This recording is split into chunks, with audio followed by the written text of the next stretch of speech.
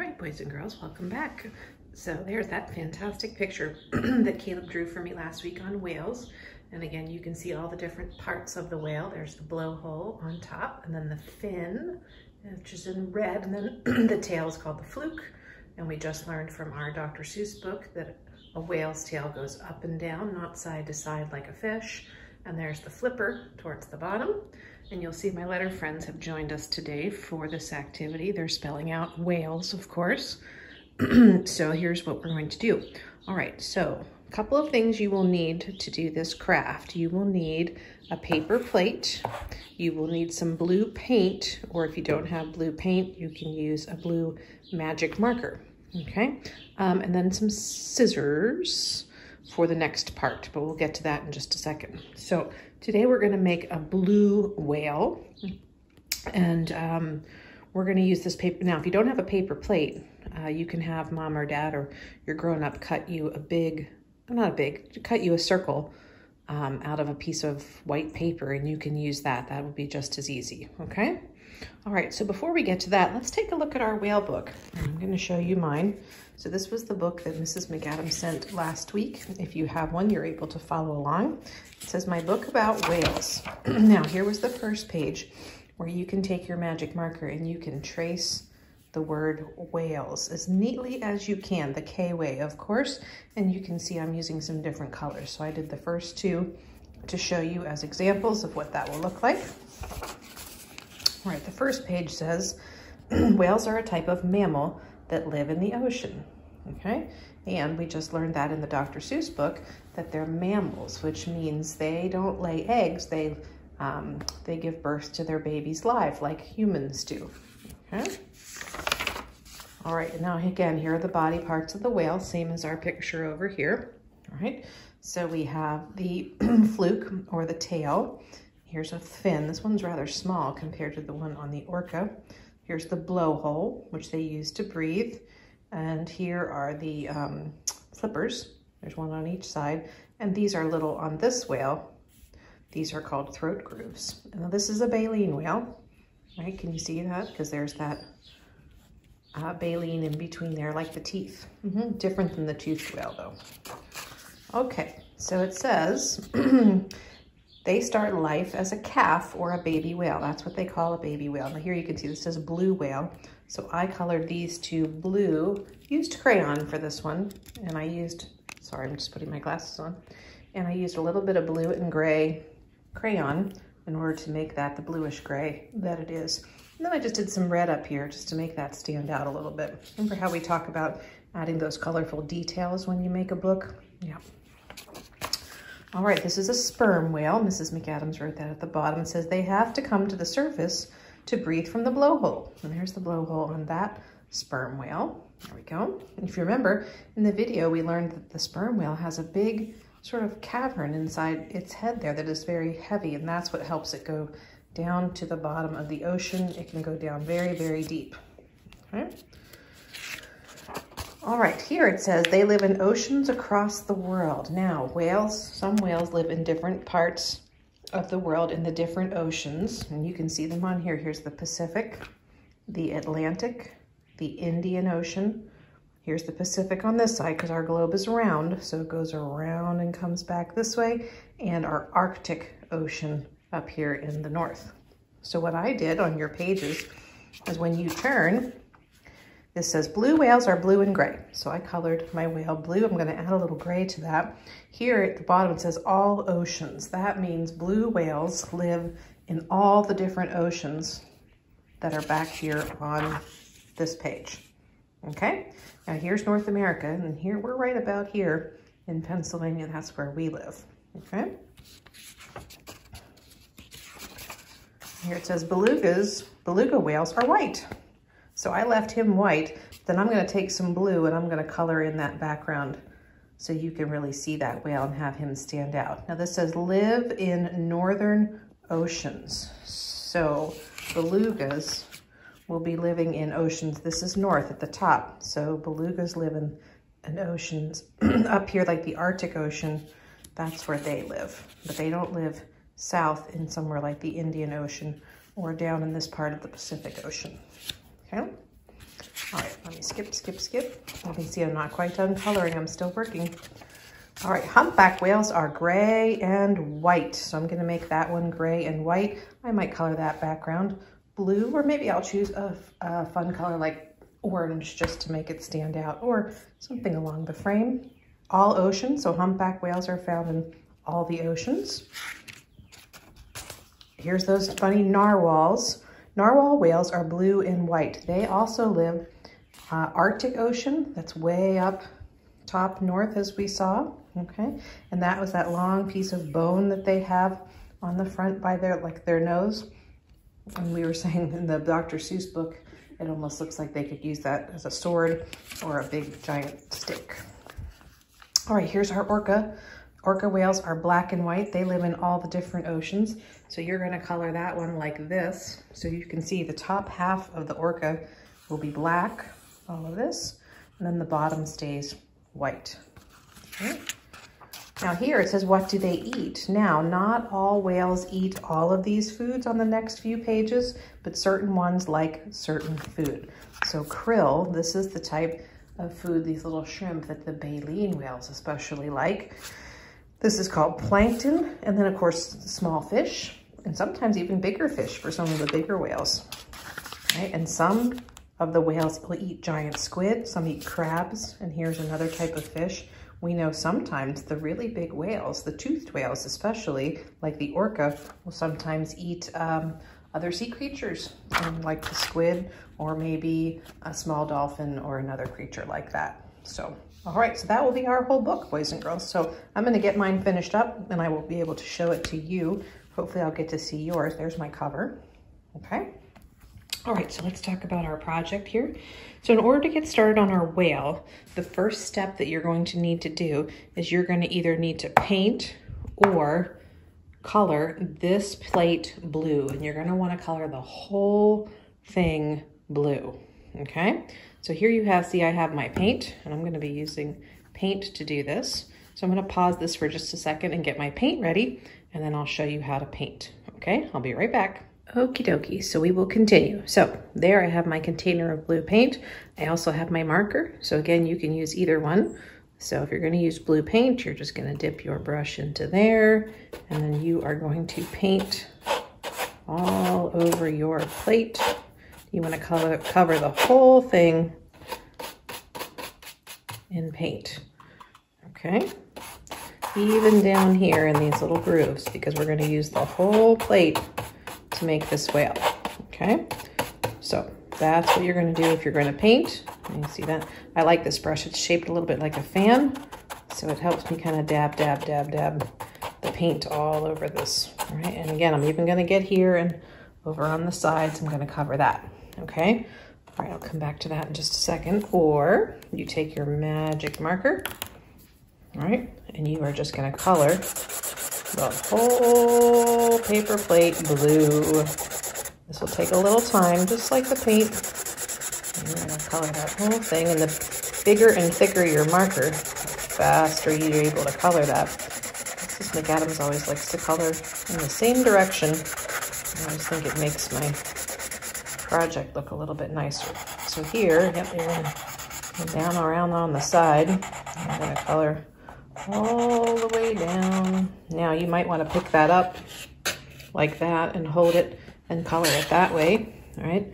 And then you're also going to color all of this part too as you make your way around, okay? So I'm going to go ahead and do those two. I'll be back in just a second and show you the final result. Okay, boys and girls, I am back. So you will see that I finished painting this one. I'm gonna let this one dry. I have colored this one and I'm gonna show you what we're gonna do next with these, okay? So if you have a ruler, your grown-ups can help you. You don't necessarily need one, but what you're gonna wanna do is you're gonna wanna draw a straight line across your plate or your circle, right? Right about here, not halfway, a little bit less than halfway across that plate like that, okay? And then once you do that, you're gonna take your scissors, right? And you're gonna cut along that straight line like this. Okay. Oops. All right, so you have this part and you have this part, all right? Now this part is going to become the base of your whale all right? And this part is going to become the tail, the whale's tail. And I'm going to show you how to attach that in just a second. So what you're going to need next is you're going to need, if you're lucky enough to have them, some googly eyes to put an eye on your whale. If not, a black magic marker works perfectly. So I'm going to get my black magic marker and I will show you how to attach the tail. Okay, be right back.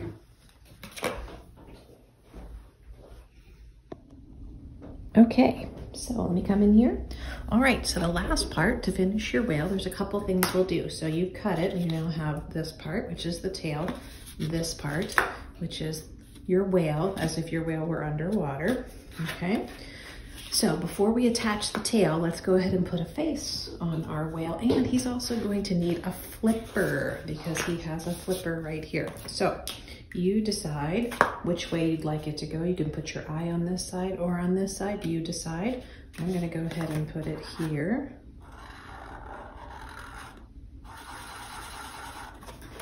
Okay, so there's an eye for my whale, all right?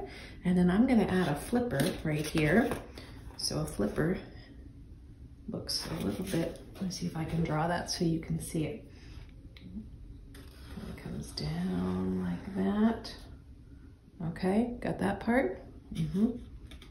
Up a little more, right, like that. And then it'll come back up like that. Okay, a little flipper like that. I might have made mine a little bit wider, but that's not bad. There's your flipper. Okay, then you're going to decide where, which way you would like the tail. So there's two ways you can make your tail. If you'd like your tail to be attached this way, I prefer this way because then these two look like those flukes that are on your whale's tail. So there's two way you can two ways you can attach it. You could use some tape or a stapler. I'm going to use a stapler because I find that that holds a little bit better. So you're just your grown up can help you with this. You're going to overlap that plate like that. And you're going to come in here and put a staple in the top. See it there? And then I'm going to turn this over and I'm going to put this in here and put a staple in the bottom. There we go. That way my whale has its tail. Oh, the one thing I certainly forgot on my whale was its mouth, didn't I? Now, a blue whale is a baleen whale, so I'm going to make a mouth.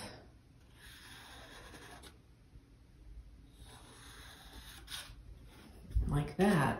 And then I'm going to make some baleen that. If you'd rather just make a smile or something, that's fine too. It's really up to you. Okay? All right, so there you go. Now you have the two flukes on your tail. If you want to, you could even take those scissors and cut a little, almost like a little V shape. Oh, now I really look like we have those two flukes that are on the tail, right? Like that. Okay, now the last thing your whale's gonna need is at the very tippy top, you know that whales have a blowhole, don't they? All right, so you're gonna take your magic marker and you're going to draw a little blowhole wherever you want that to be. So it's just like making a circle. I'm gonna draw mine and then I'll show you. Okay, there's my whale's blowhole. Okay, so we're not done yet. So what happens when the whale comes to the surface, right? Whoosh, water comes out of that because there's air that comes out of there that makes the water squirt. So we're gonna make that water that comes out of that blowhole, okay? All right, so what you'll need for this part is either some blue paper or some white paper. Either color is fine. You can take the white paper and color it blue, or you might just use white, like foamy water coming out of the top. Okay, so you're gonna need a square of paper about this big. So if grown-ups are helping you cut that, let's see, oh, let's get my, my ruler. That paper is about three, three and a half inches by four. It doesn't have to be exactly like that. Grown-ups, you can kind of decide, but that's the general size. Now, here's something fun we're gonna do. Who was our letter friend last week? Yes, Miss Y. So what you're going to do is you're going to make a big Y on this paper. And I'm going to show you why in just a minute. Okay, so what you're going to do is you're going to make a Y starting up in this corner, right? You're going to come down and stop and then go diagonally to the other corner, right? And then make the trunk. See it? Okay, now the reason you're gonna make that Y is that this is gonna be the shape of the water that's coming out of the, of the whale, okay? So now what you're gonna do is you're gonna cut this, but you're not gonna cut on the lines, all right? So watch this. And the only two places we're gonna cut are on this side and this side. So hold on, boys and girls, I'm gonna make mine a little darker so you can see it, okay? So there's the Y. Okay, see it? You don't have to do yours darker. I just want you to be able to see it when I do it, all right? Now what you're gonna do is take the scissors, and again, you can have a grown-up help you, but I think you can do it. So you're gonna put your scissors right about here, all right? And you are gonna cut up the side of the trunk, okay? And then stop, and then turn, and cut along the diagonal. All right, see how that worked? Okay, I didn't cut on the line, I left some space there. Now I'm gonna do the same thing on the other side. I'm gonna cut over just a little bit. Ready? I'm gonna cut up, up, up, and then I'm gonna turn it to the side, and I'm gonna cut diagonally. Okay, so what I'm left with is this. You can still see your Y, see it? Right, and I don't cut in here. Okay, so now turn it over like this, okay? Now you can't really see the Y anymore, it's on the back, all right? So that's gonna be the back of it.